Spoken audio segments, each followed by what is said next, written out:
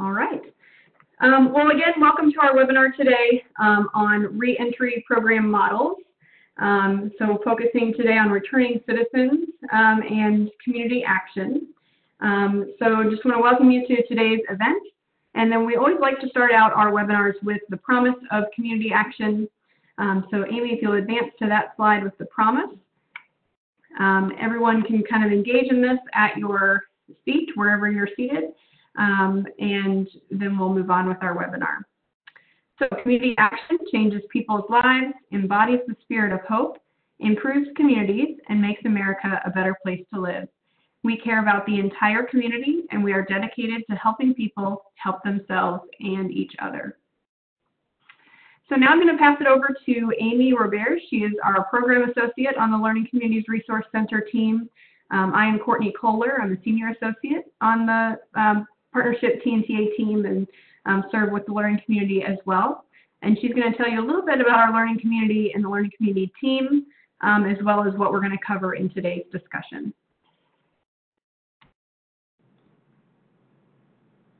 Thank you, Courtney.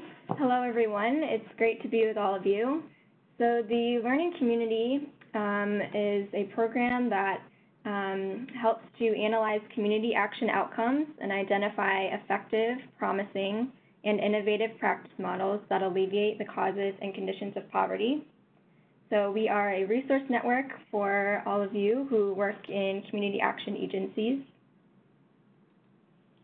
And the Learning Community Resource Center team, uh, we have Tiffany Marley, the Director of Practice Transformation, Hyacinth McKinley, who is the Senior Associate, Lil Dupree, uh, Senior Associate for Research, and Co Courtney Kohler, who is here on this webinar, uh, Senior Associate for Training and Technical Assistance, Kevin Kelly, the Director of Community Economic Development, Liza Porras, a Program Associate for Training and Technical Assistance, Jeannie Chaffin, a consultant with the Community Action Economic Mobility Initiative, and then myself, um, a new program associate with the Learning Communities Resource Center.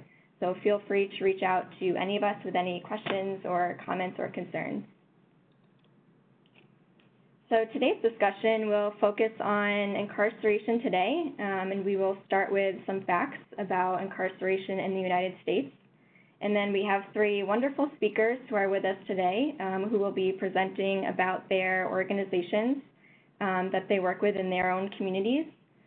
Uh, so we have Ann Fisher from Virginia Cares. And Ann Fisher worked as a legal secretary from 1975 until 1989 for the FBI and the Department of Justice Fraud Section and uh, facilities engineers at Fort Meade, Maryland, Miles and Stockbridge in Baltimore, Maryland, and Woods Rogers in Hazlegrove in Roanoke, Virginia. She served with Total Action for Progress and Head Start in Community Development and Outreach from 1991 until 1996 in Virginia. And currently, Ann serves as Board Secretary for the Virginia Community Action Partnership she was the executive assistant for Virginia Community Action Reentry Systems and became an interim director of Virginia Cares in 2002 and then executive director in 2003. She participated in the Governor Bob McDonnell's Governor's Prisoner and Juvenile Reentry Council and is a senior member of PAPIS, Virginia's Reentry Coalition. And then we also have Christina Dillard from New Reentry, and she is uh, the Director of Training and Technical Assistance at the North Carolina Community Action Association. She manages the development, implementation, and assessment of training and capacity building activities for North Carolina Community Action Network agencies. And with formal training as a psychologist, Ms. Dillard also serves as an independent evaluator for federal grants. She holds a Bachelor of Arts degree in psychology from Concord University and a Master of Science degree in experimental psychology from Radford University. And then finally, we have Ms. Thelma French with the New Orleans Reentry Task Force. She is the president CEO of Total Community Action of New Orleans, which helps to reduce poverty in communities through collaborating with other agencies and providing human services, experiences, and opportunities that move people from poverty to self-sufficiency. She has an extensive background in human services, professional development, and technical assistance, and she has many experience in uh, public administration, serving in positions with state, municipal, and school boards. And she is a member of the Community Action Partnership, the Alliance for Children and Families, Louisiana Workforce Investment Council, New Orleans Workforce Development Board, Association of Community Action Partnership of Louisiana, the New Orleans Parish Juvenile Justice Advisory Committee, and the New Orleans Criminal Justice Coordinating Council, as well as many other civic organizations. And then at the end of this webinar, we will have a panel discussion and question and answer. So with that, um, we will go into some of the incarceration facts and then hand it over to our presenters. All right. Well, thank you, Amy, um, for that those introductions. Um, just want to give you kind of a picture of um, some of our incarceration facts in the United States before we get started to frame up um, what we'll be talking about and the importance of this um, information today. So um, what you see here on your screen, I'll just let you kind of take a look at it here for a moment, but um, basically this is showing how many people are incarcerated in the United States through state prisons, local jails, um, federal prisons and jails. And so you can kind of see those small slivers of the pie are broken out into the um, bar that is over at the side. Um, and so that brings out looking at youth centers, um, territorial prisons, immigration detention, um, involuntary commitment, and then there's some other um, Indian country and military down there as well. Um, and so you can also see they've broken it out into, you know, what type of, um, you know, whether in the state prisons, you know, the drug, property, um, violent crimes, um, whether in local jails, whether they're convicted or not convicted. So this just gives a um, interesting picture of, you know, who and um, and why people are incarcerated in the United States. And up there at the top, it says the U.S. locks up more people per capita than any other nation at a staggering rate of 698 per 10 or 100,000 residents. But to end mass incarceration, we must first consider where and why 2.3 million people are confined nationwide. So that's kind of what this picture here is showing. Then these are just some incarceration trends in America. Um, between 1980 and 2015, the number of people incarcerated in America increased roughly from 500,000 to over 2.2 million. And then today in the United States, um, that makes up about 5%, the United States makes up about 5% of the world's population, um, but has 21% of the world's prisoners. Furthermore, one in every 37 adults in the United States, or 2.7 of the adult population, is under some sort of correctional supervision. Um, so looking at some of these stats, it can be a little bit staggering, especially seeing these increases over time um, and the percentages of you know population to um, even the world prisoners. And we have the sources here down at the bottom as well. Um, but there's also racial disparities in incarceration. So um, and, and many, you know, understand and know this, but in 2014, um, African Americans constituted 2.3 million or 34% of the total 6.8 million correctional population. African Americans are incarcerated at more than five times the rate of whites, and the imprisonment rate for African American women, women is twice that of white women. Then this last chart here um, on poverty and incarceration um, just kind of shows the distribution of the annual incomes for incarcerated men prior to um, incarceration and then non-incarcerated men, ages 27 to 42.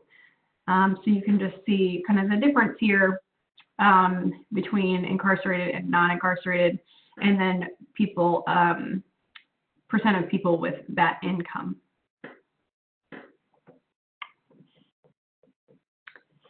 And this is just a quote from Bryan Stevenson. So the opposite of poverty isn't wealth. The opposite of poverty is justice. And so this quote kind of grounds us in what we're talking about today, um, and, and that is justice. Um, and so we're not necessarily always talking about, um, you know, of course, part of poverty is, you know, people being self-sufficient and having the money to thrive and survive. Um, but also it is about um, being able to uh, have justice in your life. And so um, that's part of what we're talking about today. And we know that there's so many factors that go into poverty, um, and that you know money isn't just the solution. Um, and so we're going to talk about one of these issues today that definitely impacts poverty. Um, so with that, I'll turn it over to Amy, and she'll go ahead and transition us over to our presenters for today. Okay, thank you very much, Courtney. So first we will have Ann Fisher with Virginia Cares, and with that, I will turn it over to Ann.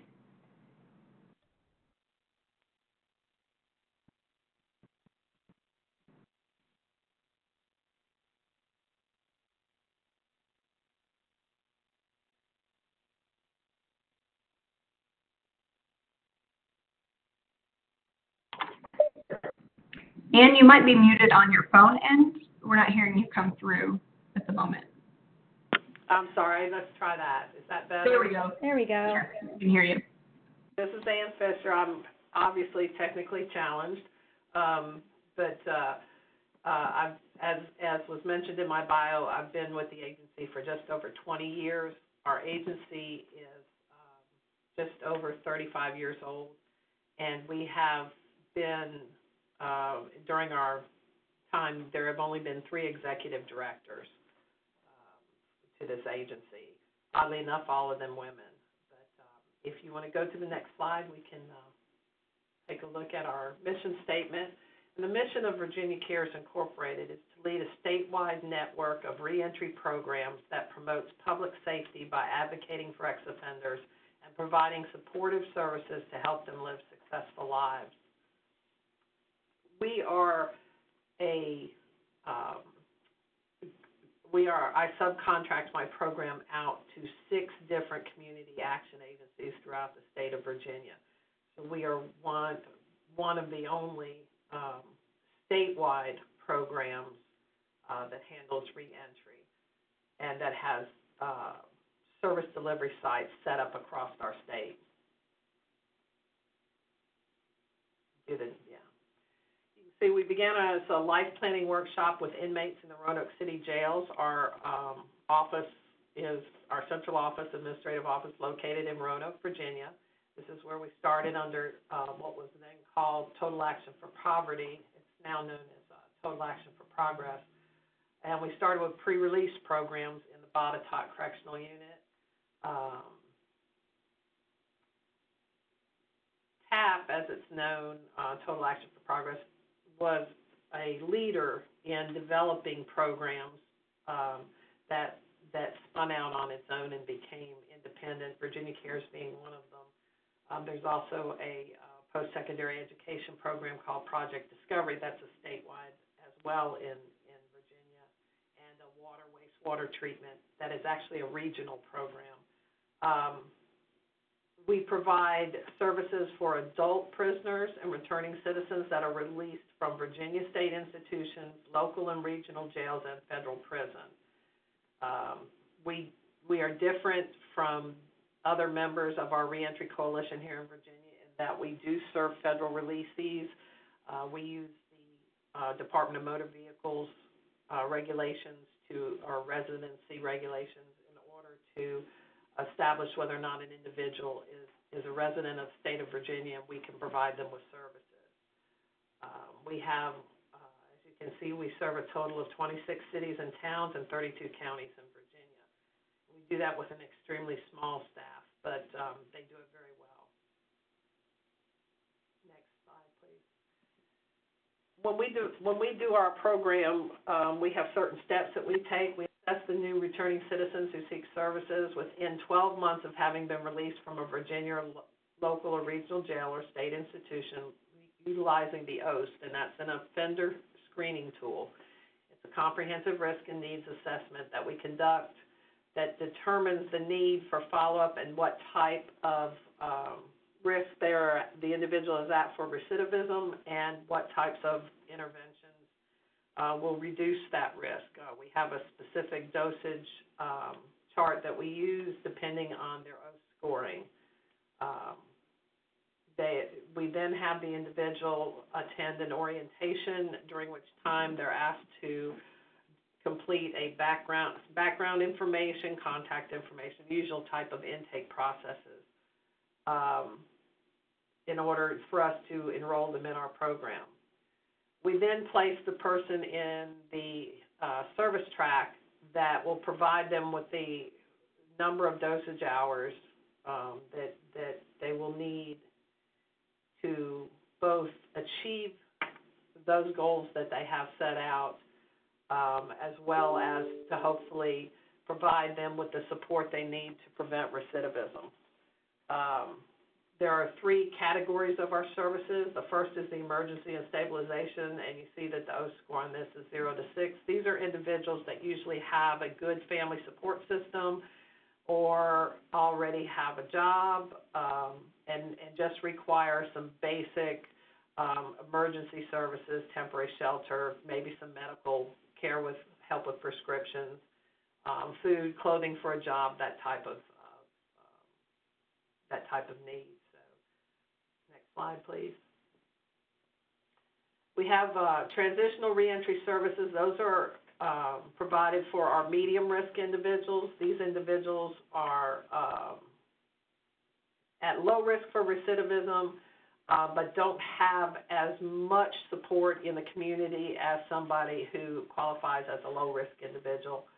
Um, and you can see that they, we, there's other services that are provided in addition to the emergency services that they can receive.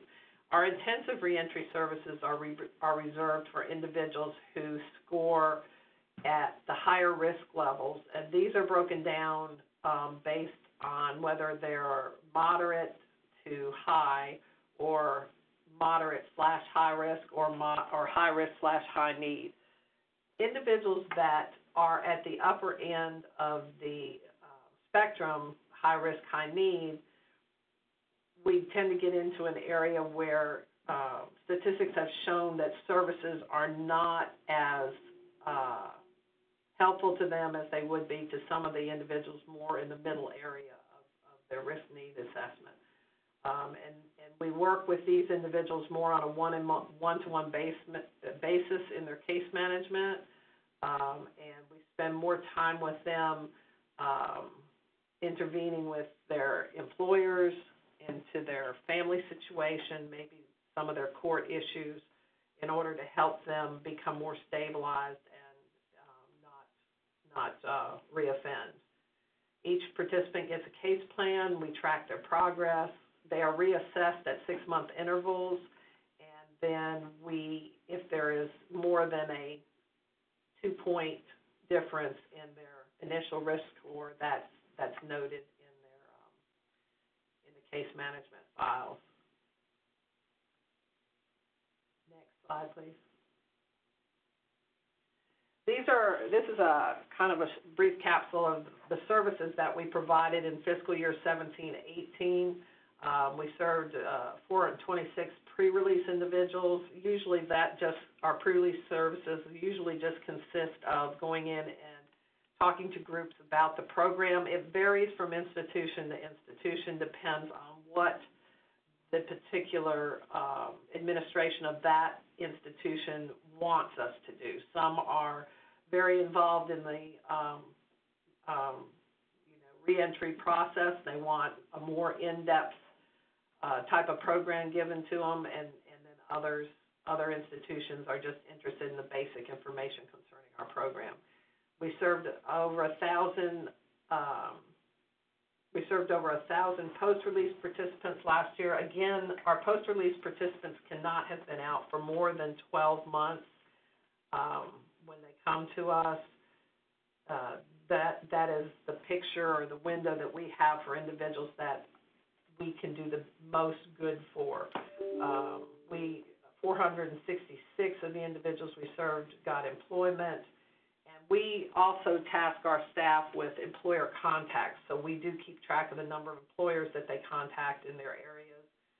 Um, in our case management, um, career and family is an important part, in our opinion, of working with the individual and helping them to develop um, a career track, pursue what they want to do. We don't want our individuals to just find a job that just pays them enough to get by. We'd like to get them established in something they enjoy doing, something they're good at, and something that they can, you know, move forward in and, and become well established in the community. Uh, financial assistance, obviously, most of us have to provide that. Substance abuse referrals and housing referrals, financial referrals.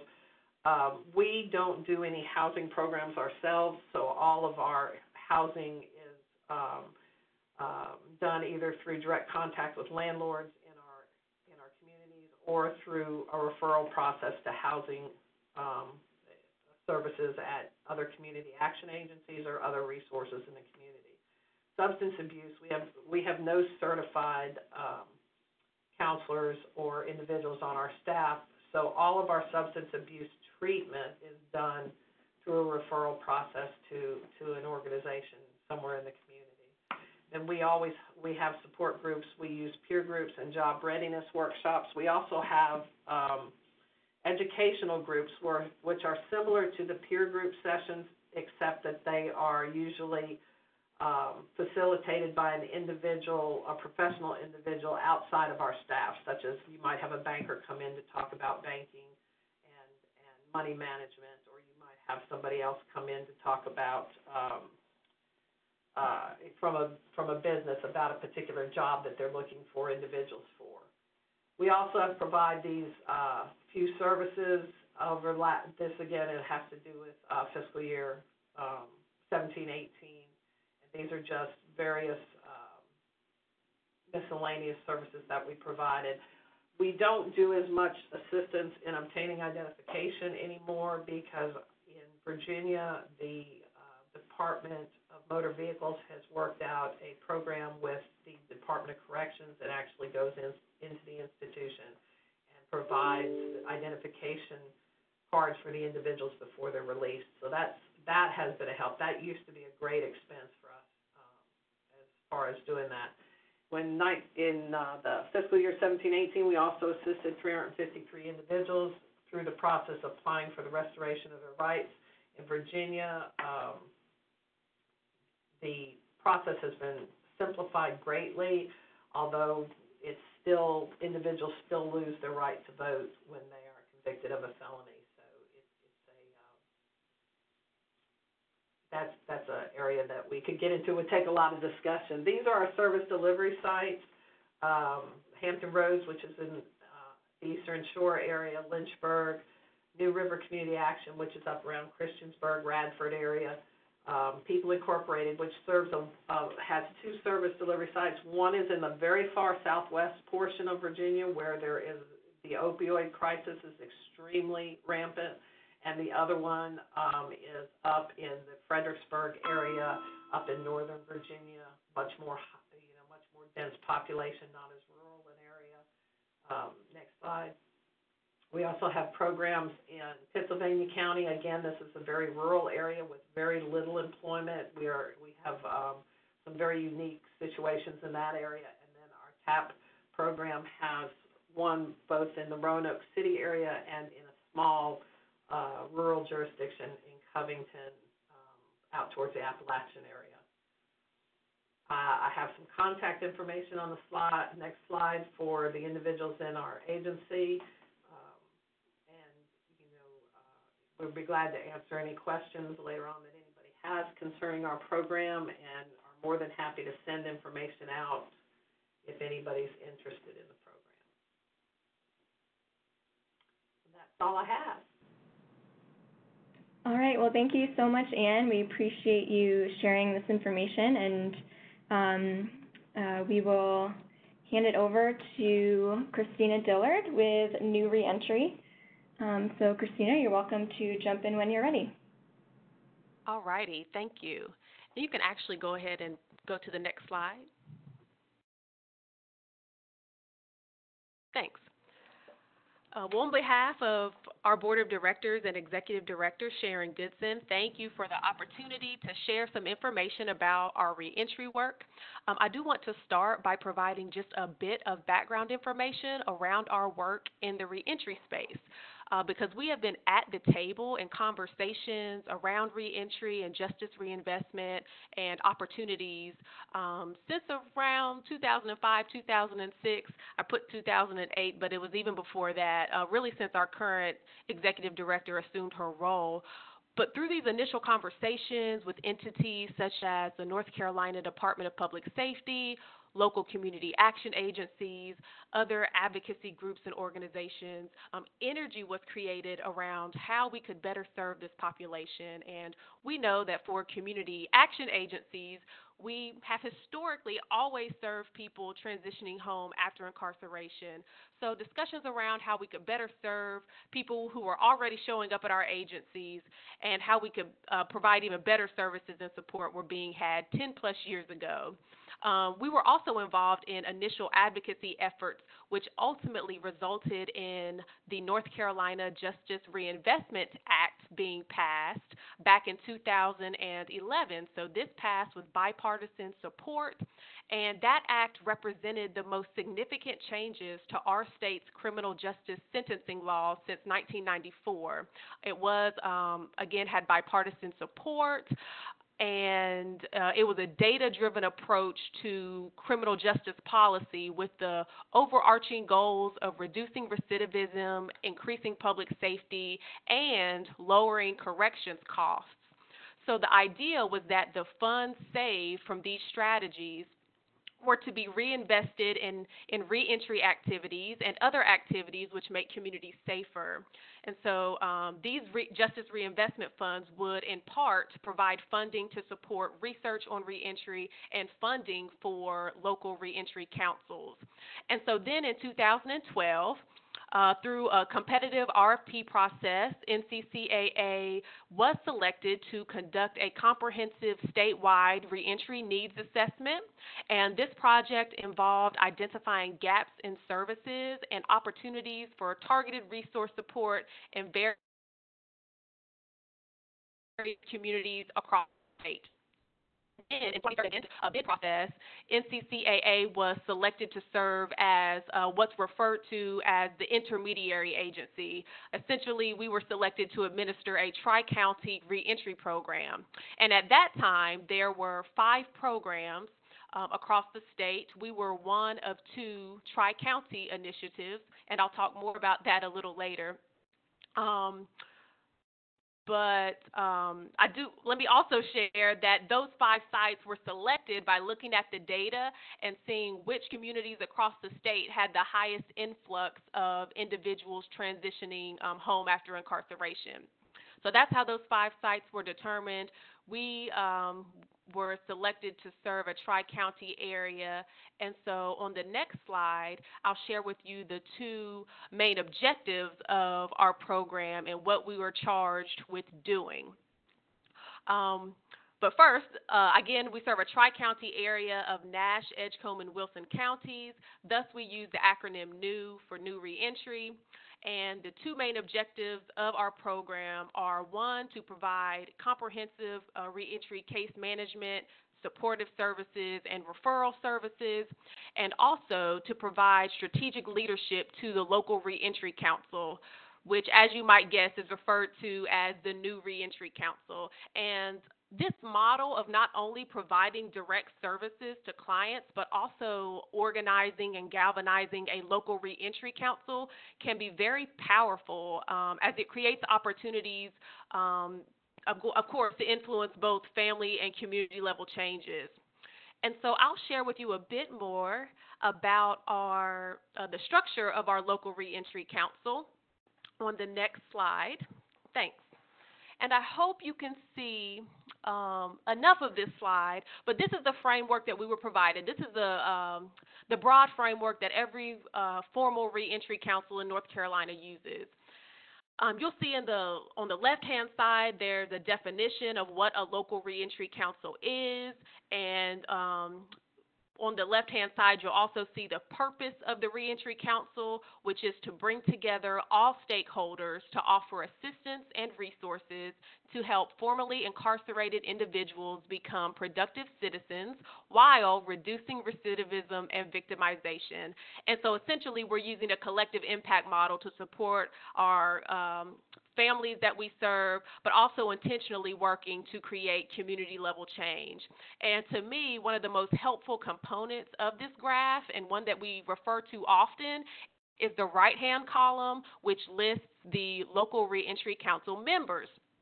Um, I, I, hope you can see it, um, but it is pretty comprehensive and it can really guide you to ensure that you have strong representation on your council uh, because, as you know, having these various perspectives is critically important to um, running an effective council. And so, whenever possible, get as, as many different perspectives um, and stakeholders at the table from these different areas. And of course, it's always helpful if you can have a representative that can influence decisions at their agency um, or is a decision maker as well. Um, and I'll be very transparent. This work is not easy. It has not been easy, especially serving a tri county uh, area. We have a large geographical location. Uh, the counties we serve are rural. And so, our general recommendation would be unless you are working in neighboring communities or counties which already work very closely together, if you can um, form a single county or single community reentry council, that would probably be um, ideal just for logistical, um, pragmatic reasons. So this is a model that we follow loosely. We have adapted it throughout the years to work in the communities we serve. At this point, we do have those strong partnerships with virtually all of the partners you see listed there. Uh, we also would recommend and have seen success through organizing working subcommittees around different areas of need. So in our community, um, the three highest needs are around transportation, housing, and housing specifically for sex offenders as well, but that's a whole nother presentation, um, and around employment. So we do have working subcommittees around those areas, and I'll share with you just a simple win that we had by having the uh, director of the local public transit on our council um, we were able to bring a concern with him that we were noticing with many of our clients not being able to use um, cash transaction after a certain time of the evening when they were trying to get on the bus. And he actually was able to very swiftly and seemingly easily resolve that issue, uh, which was a simple fix, but one that was drastically helpful to many of our clients. Um, we're also working with the local transit authority because um, we may be able to receive a decommissioned vehicle that they're no longer using where we could serve reentry clients and meet some of the transportation needs further out into the county that we serve. Um, so I also want to mention, pull out one other uh, piece from your council, and that is that you want to have at least one person, preferably more, uh, but people who have been through the reentry process, who have successfully transitioned home, make sure you have that representation on your council. These are the true experts, and their perspectives obviously um, need to be represented in order to identify needs and solutions. And so, another role of our reentry council is advocacy. And so, actually, if you can advance two slides. Thank you. Um, we have a lot going on in North Carolina around advocacy in the reentry space. We are proud to be a part of the North Carolina Second Chance Alliance, which is an organized statewide advocacy campaign. And so on the left, you'll see um, uh, some of the second chance bills which were introduced during this year's legislative session. Um, the Second Chance Lobby Day happened in May, and we were there, and there were more than a thousand reentry advocates from reentry councils across the state. And so that picture on the top shows a picture um, from from our event in May, or from the event in May. And on the bottom pictures, those are those are our staff and and some members of our reentry council and a local elected official and clients. Um, there, you can see we were actively there um, advocating for for these various bills. And I'm proud to report that um, the Second Chance Bill did pass fairly easily and with uh, strong bipartisan support. And so um, advocacy is huge. We lean on our Reentry Council members to um, help us with those advocacy efforts and encourage you to visit this website if you want to check out more about the North Carolina Second Chance Alliance. I'll also mention that we are engaged in local advocacy as well. So, for example, uh, several cities within the counties we work in and um, Edgecombe County have uh, formally banned the box. And banned the box uh, simply meaning they have removed a question on their employment applications around whether someone has uh, a criminal record, and they wait until further into the interview process um, to ask that question. And there's a whole lot of data and good stuff around why that's a that's a great policy to have. Uh, but if you're not familiar, Google ban the box and learn more about it. But but this could be low-hanging fruit um, if some of you um, want to have some local advocacy wins, and it also can be an effective uh, awareness-raising campaign as well. And so we can go to the next slide. I also wanted to share um, our activities around Reentry Week. So, a few years back, uh, the federal government started what's known as uh, Reentry Week, and many states, including North Carolina, have formally recognized Reentry Week. And so, we take advantage of this week to host various community events all week long. Um, this year, we hosted six events. We had two resource fairs. We had a, um, a, a, block party. We have between 200 and 250 come people come to those. Um, actually, the picture in the bottom, the bottom middle shows um, attorney, our Attorney General Josh Stein came to our event, and various other state level um, officials. We also um, always host a State of Reentry Luncheon, and that's the only event that we host that is not open to the public. It's one in which we Im- invite uh, specifically local elected officials and other local community members um, and leaders uh, just to share with them and keep them abreast of the reentry activities that we've had throughout the year. Um, what else do we have? Oh, we also hosted uh, an event around our Newgrounds Coffee initiative, and I'll briefly share with you a little bit more about Newgrounds Coffee as um, one of our fund development streams. And we also had a, a screening of a reentry documentary that we developed, and I'll share with you the trailer to that documentary um, at the end of this presentation. And so we can go to the next slide. And also just wanted to mention the value of having positive press. Um, so these are just some screenshots of a few of the publications we've had.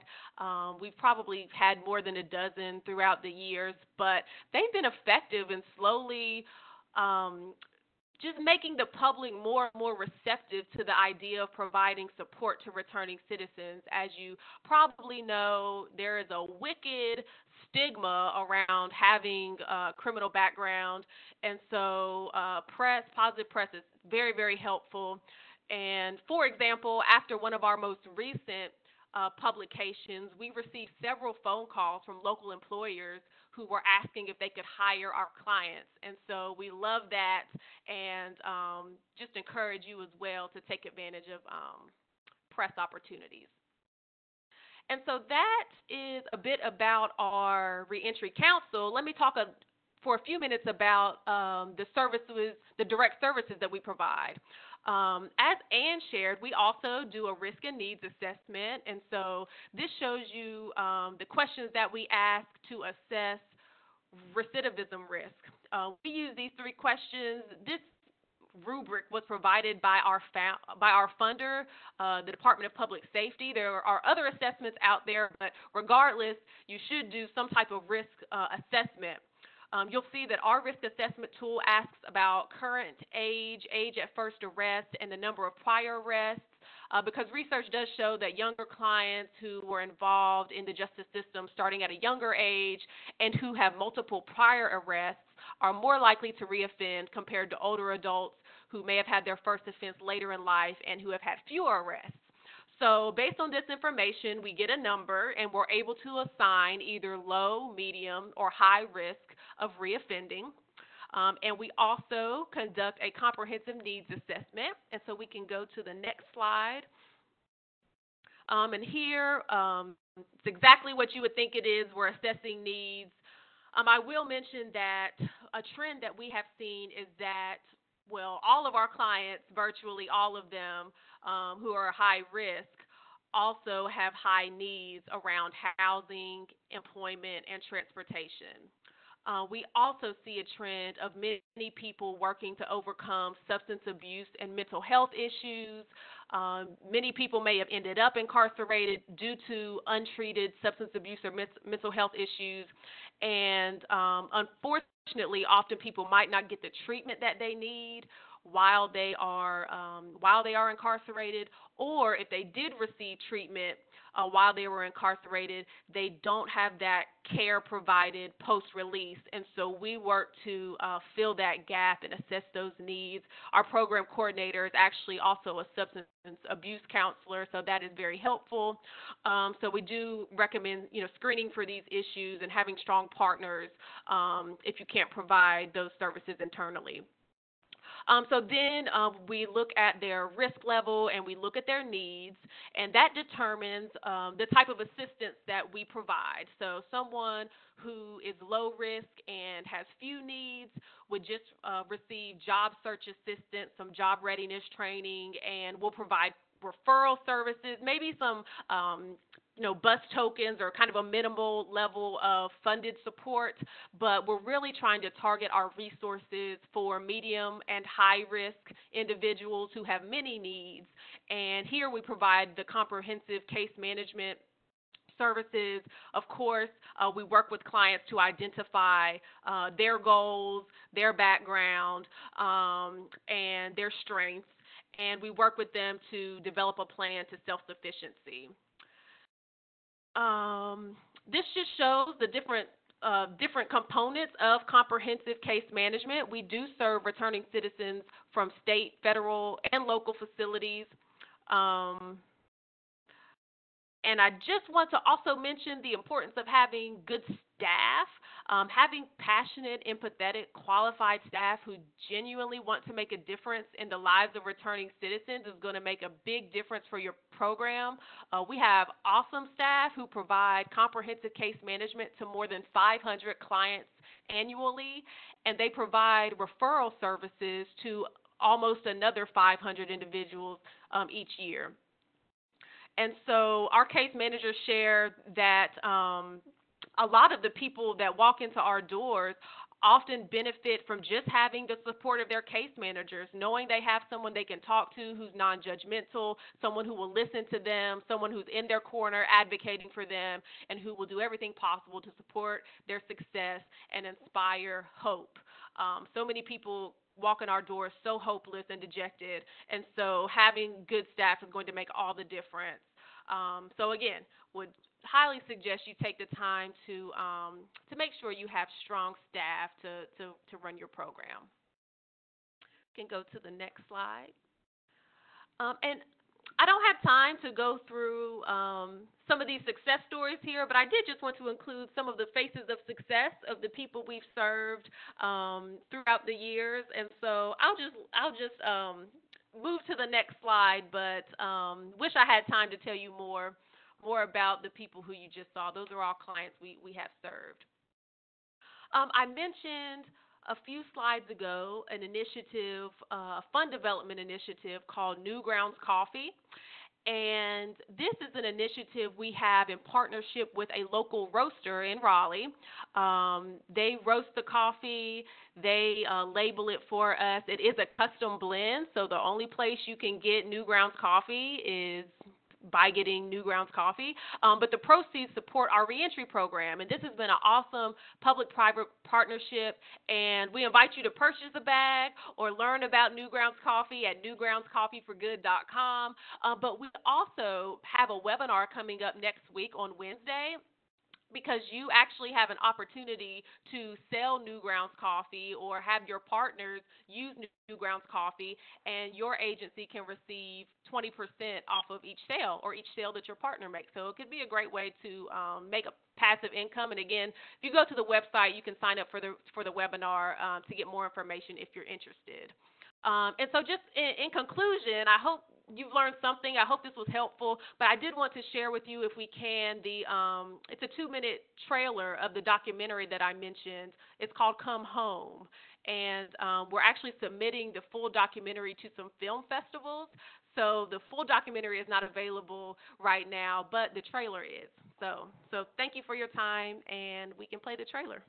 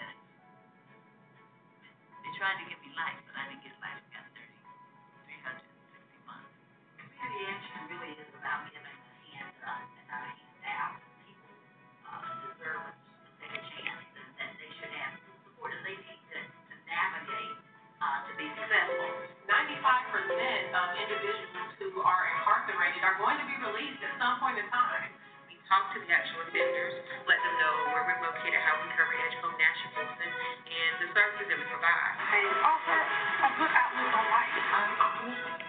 We're gonna be here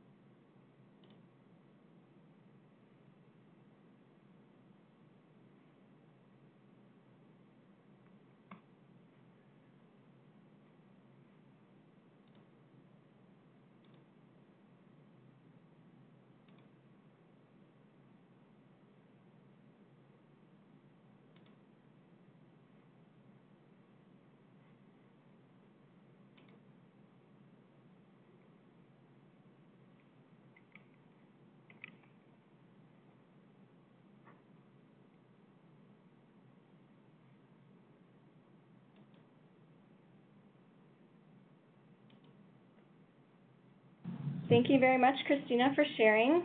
And we will hand it over to uh, Thelma French, and she will um, talk about her community level change through collective impact.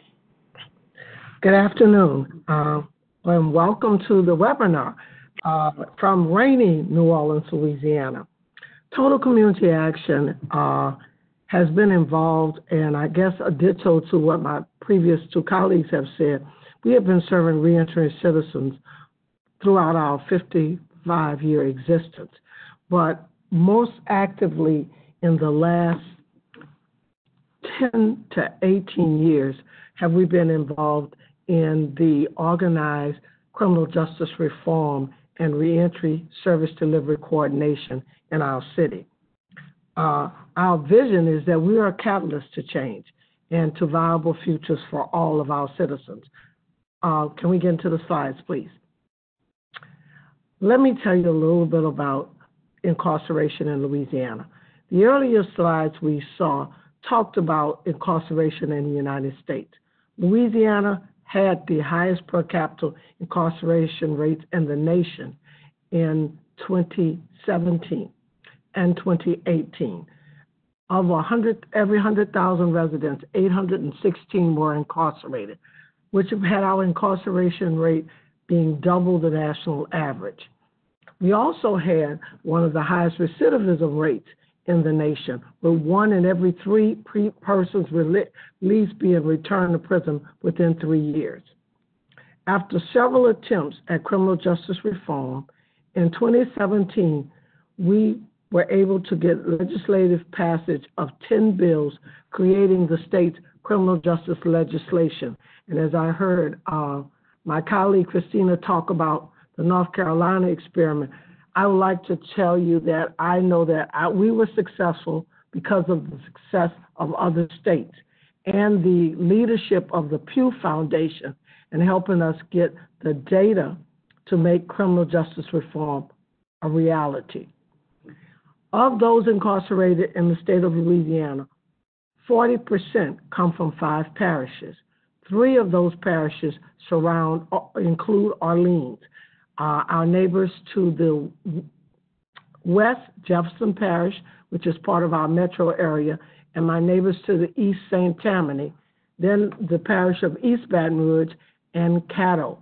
Uh, for those of you who wonder what parishes is, are they equate to counties in the rest of the nation. But because of our French heritage, we are still a parish-based state.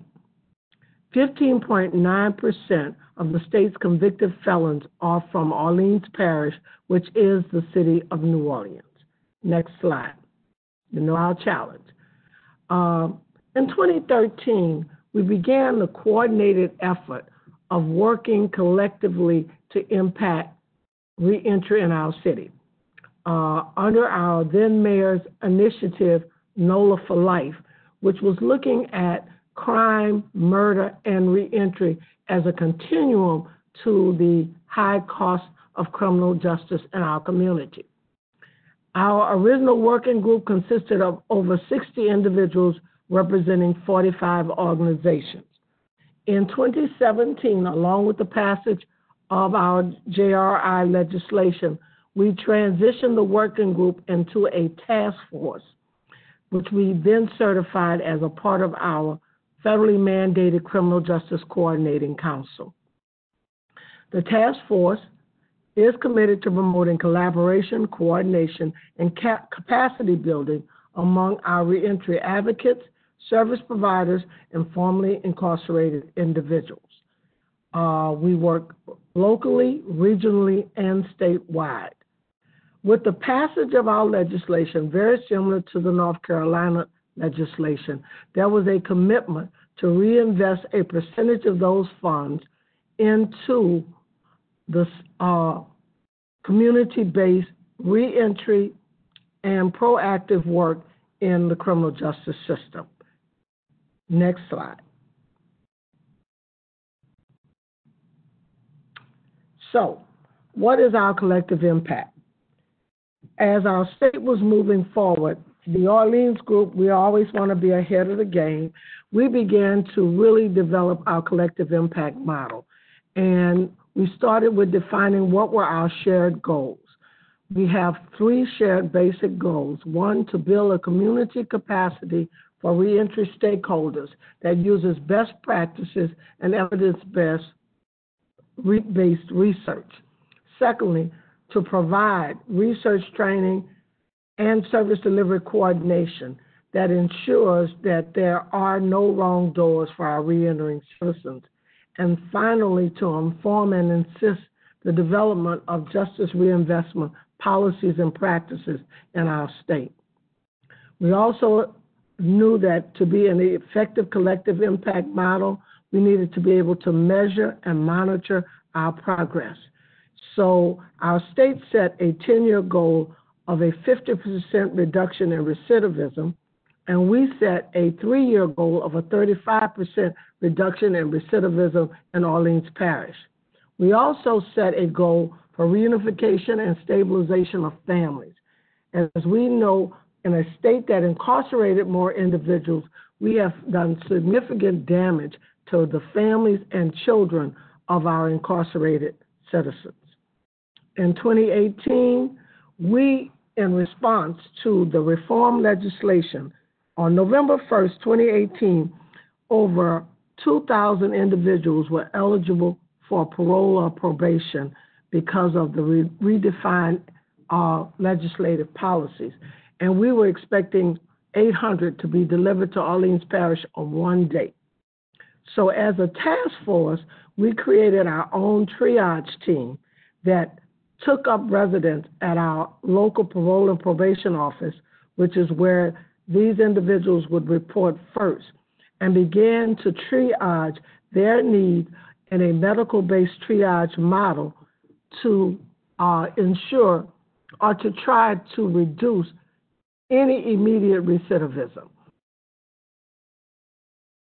Has expanded and is now being trained and uh, implemented statewide in our city. What has been the role of total community action?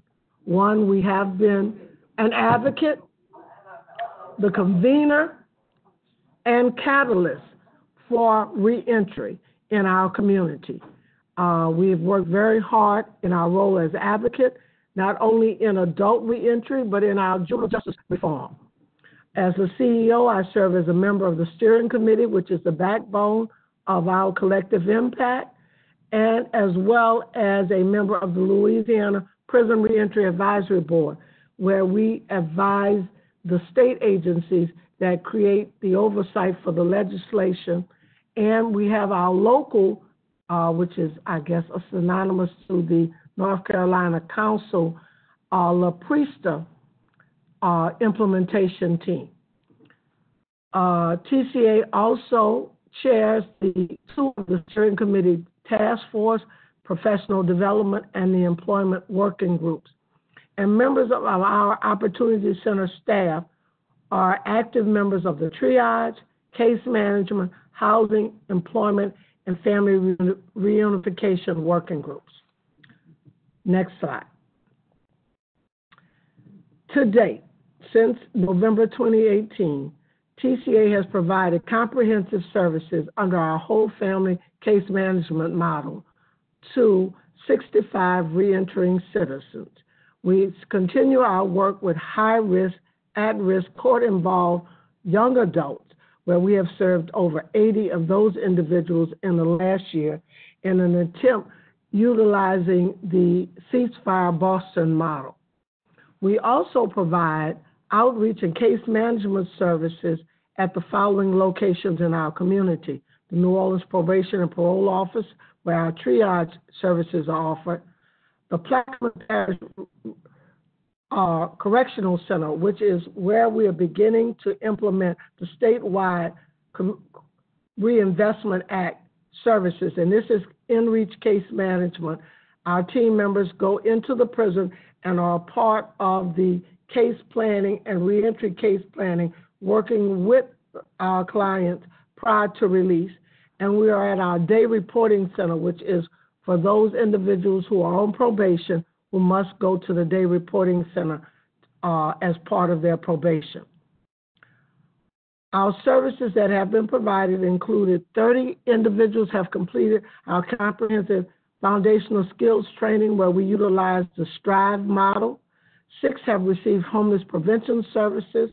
Nine have received employment supports, which include clothing, uniform, and supplies. Five have received rapid rehousing assistance, and two have received emergency assistance. All 65 have received some form of family support and family reunification services.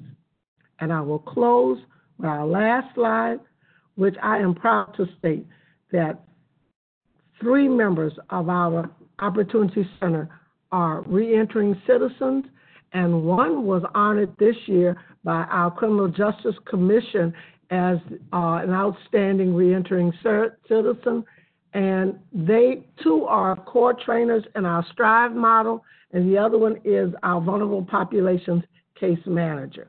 We're excited about this opportunity because, as we believe, we are helping people, changing lives, and we are determined that if we can help re- reunite more families through collaboration, partnership, and collective impact, we can reduce recidivism in our community. And I thank you for your attention.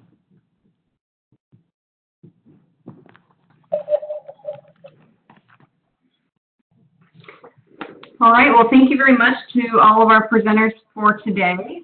Um, great to hear about the different um, reentry program models that are happening across the country. Um, we want to go ahead and open it up for questions now, and I see that we do have a few comments and questions that came in during the presentation. Um, so we'll go ahead and turn to those first, but um, anyone out there that has a question or a comment, please feel free to type those into the chat box um, or the Q&A box, and we'll be sure to address those. Um, so first, we just had, um, see, we had an additional statistic here that was submitted in the Q&A box that I'll share. Uh, it says the United States is the world's leader in incarceration. Um, the U.S. is 5% of the world's population, but holds 25% of the world's incarcerated people. Um, there's 2.2 million people in the nation's prisons and jails, which is a 500% increase over the last 40 years. Um, so those are just to complement some of the statistics we read earlier. Um, there's another program that helps high-risk women called Truth Be Told. Um, so it, for other models that you all are interested in out there, you might look that one up. It's called Truth Be Told. Um, it's been very successful in breaking the root of behaviors and reentry. Um, and then we had a question here about what is being done about finding second chance employers. Uh, I know this question was asked early on, and so some of this might have been addressed through some of the presentations, but um, we had someone comment that without those, employer contacts often have no response. So I didn't know if the different panelists wanted to comment on this and um, provide any additional information about what's being done with finding second chance employers. Um, I would like to start with that because one of the things that we did in our comprehensive community assessment prior to submitting our our competitive grant for criminal justice reinvestment funds was to identify that uh, employment was one of our biggest gaps in services. We've been working with our business uh, alliance to look at a transitional jobs model because we know immediate connectivity to work is key to reducing recidivism. And we've visited CEO and we are looking to uh, possibly have CEO, uh, which is a transitional jobs initiative out of New York, which has gone nationally to set up a site in our community.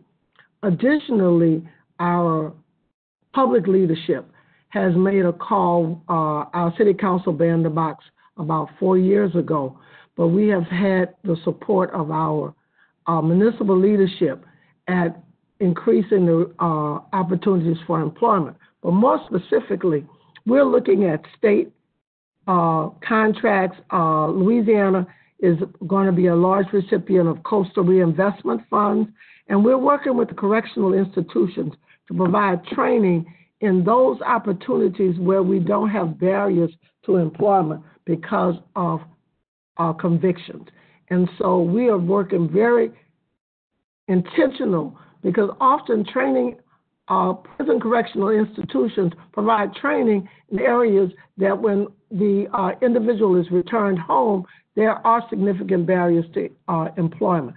So, on the advocacy side, we're trying to work very closely with them to provide training and certifications in areas where there are opportunities and employers waiting. All right, thank you, Thelma. I'll, I'll mention as well, um, you know, relationship building. So part of the job of our reentry coordinators to go out and have materials and information and really have those conversations with employers. Um, and then if you are able to secure employment for one of your clients, make sure you send a client who is job ready. Um, that's critical. That we've had instances where if you send people who are job ready and do a great job, um, that provides opportunities for other. It really does have a trickle effect um, across organizations. A lot of times it can be easier with employers who are who aren't so corporate in structure because sometimes when there are so many levels having to go up the chain, there are just corporate hard and fast decisions made where they kick people out um, and they don't really give people a chance to explain themselves. Um, but if there are more locally based employers or those who aren't so kind of rigid in a corporate structure, you might have better luck there. We've also had success partnering with our local employment offices. In North Carolina, it's called NC Works, but it's our local employment office.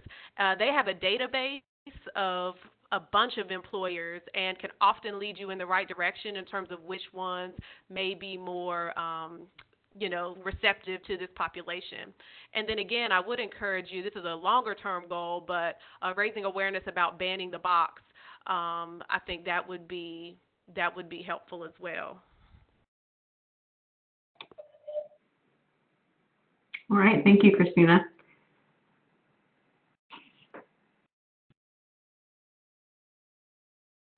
Okay, well, we'll move on to a couple other comments um, and questions that we had. So we did have another comment uh, about the language that's being used for, um, you know, what we call people who are formerly incarcerated.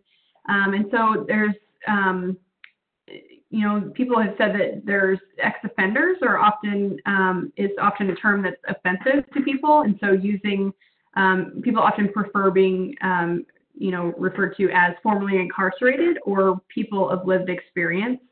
Um, rather than using the term ex-offender, so that's just a, something that for everyone to keep in mind, you know, as they're working on this in this sort of in this sort of work. Also, we had a question about um, are any of the presenters using any evidence-based um, approaches in the service delivery, in the delivery of your program services? And if so, what are these? So I'll repeat it again because I kind of stumble on that. But are any presenters using evidence-based approaches in delivery of your program services? And what are these?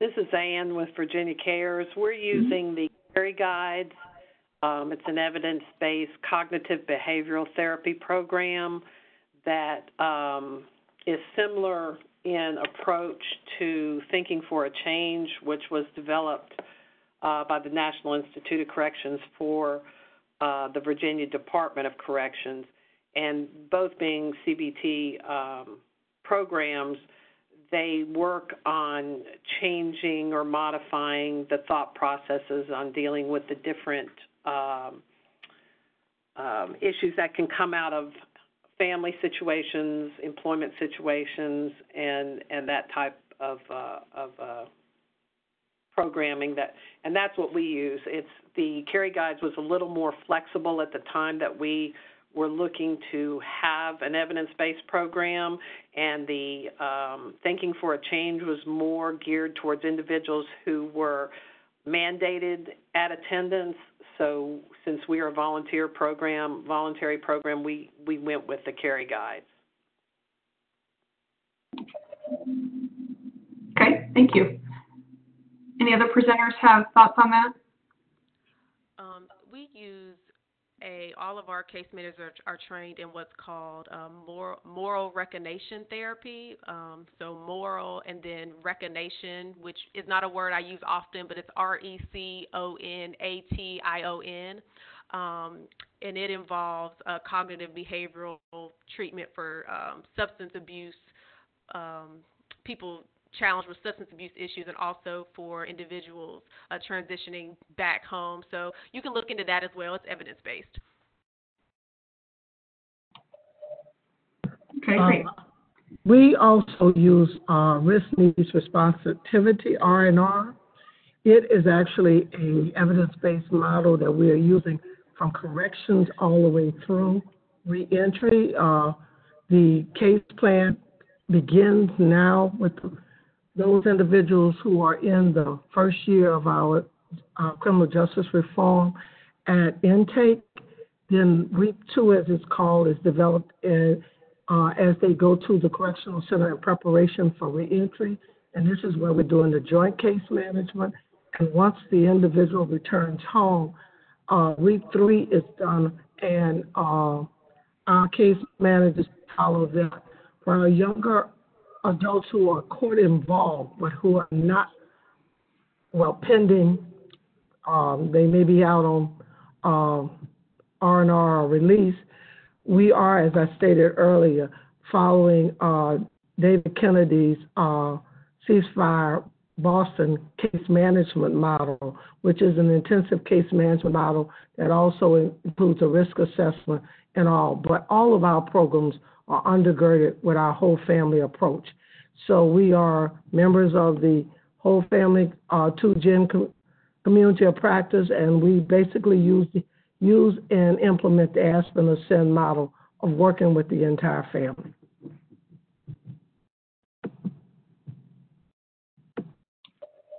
All right, thank you. Um, had another couple of questions here. Um, one is about how are your programs funded? We're funded through the North Carolina Department of Public Safety. We've also gotten some other um, state funding from the Governor's Crime Commission, and we received seed funding for our Newgrounds Coffee initiative from the Z. Smith Reynolds Foundation. And Virginia Cares is funded through um, the Virginia General Assembly. Uh, we're a line item in the governor's budget. In addition, we receive some um, a small amount of um, community service block grant funds to support the program.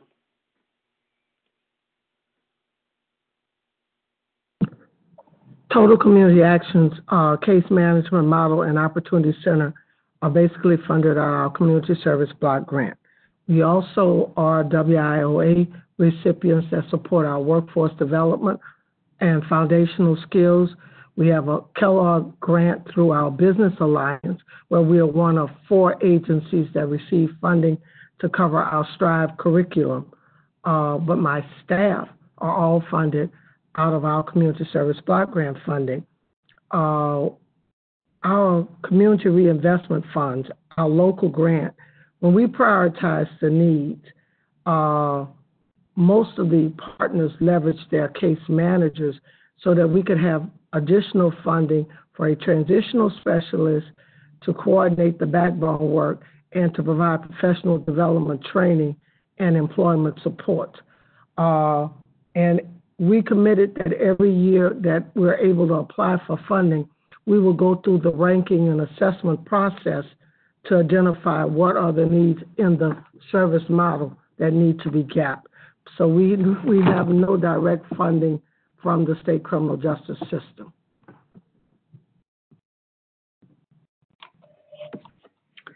All right, and then another question we had um, is what services are included in the pre-release component of the programs? And I know this one came in, I believe, while Thelma was talking. Um, Yeah. Uh, we are doing pre-release and in-reach. So our case management team goes uh, to the correctional facility, uh, and I, I guess I need to put a little cognizant on that. Uh, we would have hoped that our uh, participants in the criminal justice reform uh, community uh, entry grants would have been housed in their parishes where they would be returning. But for some other reasons, uh, our local uh, parish jail is in a consent decree order. So our returning citizens, as well as those for Jessup Parish who are in this pilot, are actually housed in a rural parish. So it's about a two hour trip. And our case management team goes down every Monday. They do case planning, they meet with the uh, uh, participants, they do the initial screenings, they start barrier removal. Our legal partners go in to start to deal with some of the uh, legal issues. Uh, we're one of those states that you can acquire a whole lot of fines and fees while you're incarcerated. Your license may be suspended. You may have some attachments because you couldn't get to court because you were incarcerated. So that was one of the prioritizations in our comprehensive application. So we have a legal team that goes along with them to start to begin to remo- remove those barriers for the participants in our uh, CRI grant application. We also do housing planning uh, for those who are unable to return home or to have a permanent, uh, a transitional residence. So we begin to start to identify transitional housing, and our HPRP grant, it, we have two priority populations, and returning citizens are one of those. So we begin, we can begin to start to identify transitional housing or post-release housing during our in-reach services. In North Carolina, unfortunately, we don't have the capacity to do kind of comprehensive pre-release uh, work with our clients, but we do partner with, um, there are case managers that work with inmates pre-release. Um, every person has to have a home plan developed. Uh, our experience has been that some facilities do a great job and have really great staff working with people to help them transition, and we can work with them very, very well to help a smooth, uh, promote a smooth transition. But other facilities are kind of awful at providing those services, so we simply don't have the capacity, unfortunately, to do uh, to do that with the bulk of our clients. But we do go into the facilities and do resource fairs so that at least the um, you know people know where to find us. They have our information, and we do make sure that all of the facilities and that all of our probation and parole offices we we do enrollments um, similar to my colleague. We do enrollments at the probation and parole offices um, so that clients don't have to have the burden of trying to get transportation or make an extra trip to our office. Um, so um, most people who leave, um, you know, are transitioning home in North Carolina. Most of them are on some level of supervision. So we're able to capture um, most people simply by partnering with the probation parole offices, and we hope to do more work uh, pre-release um, in the future.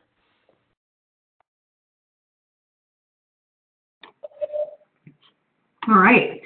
Thank you all for that. And I think we'll take really just have mainly one more question I think I've seen come through. We have a few comments in the Q&A, um, and I'll try to kind of read through those towards the end uh, before we get to our concluding announcements. Um, but one question that came through the chat that I thought would be good for each of you to answer in conclusion is, um, how do you get started with this work? What, what would be your one piece of advice um, in getting started?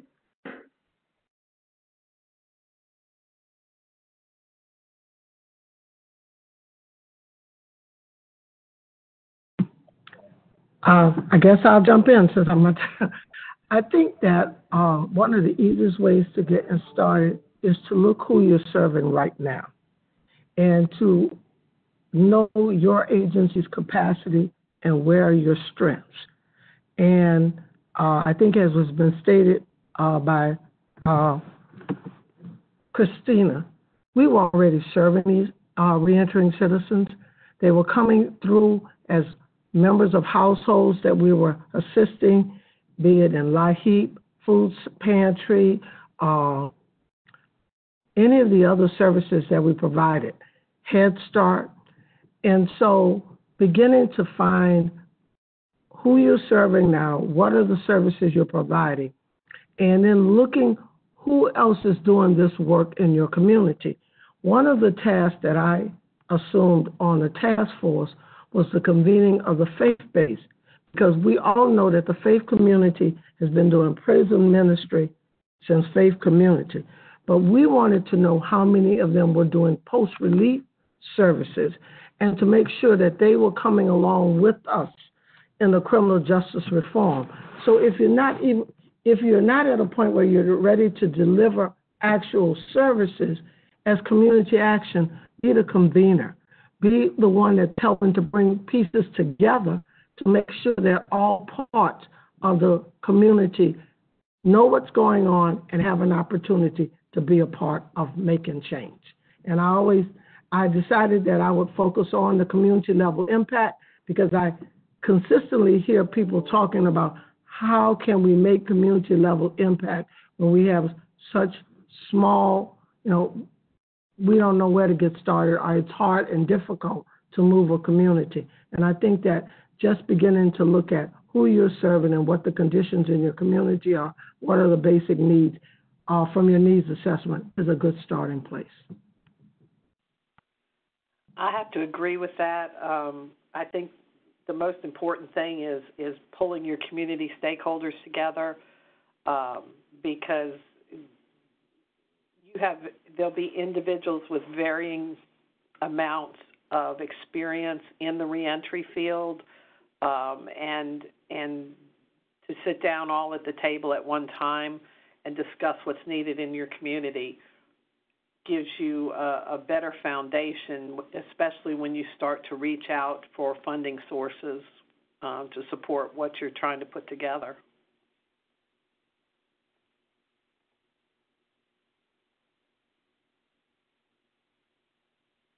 Yeah, I agree. I don't know if I have much to add to those comments. All right. Well, thanks to each of you. And we had um, a few comments come in the question and answer um, just about how people appreciate this uh, presentation and appreciate the presenters, um, you know, applauding each of you and um, in your hard yet important work that you're doing with the different models. Um, so just wanted to share that out, um, you know, as it seems like this was a good uh, webinar and some information to share out. Um, so thank you to our presenters. I'll go ahead and pass it back over to Amy, and she'll close us out with some concluding announcements in our last couple of minutes. Thank you, Courtney, and thank you again to our presenters. So here we have all of our upcoming webinars. Um, as you can see, July 17th is our next one um, with Dr. Shervington about Healing is the Revolution, Why Trauma Work is Equity Work. And July 24th, the basics of sustainability and resource development. July 31st, we have one on energy partnerships and then August 7th on rural transportation, and you can find those on our website where you can also register.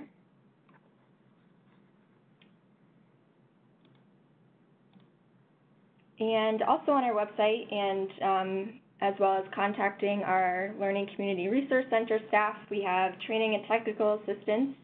Um, the partnership offers um, these training and technical assistance to meet the needs of the national network and you can see our topics below on the slide.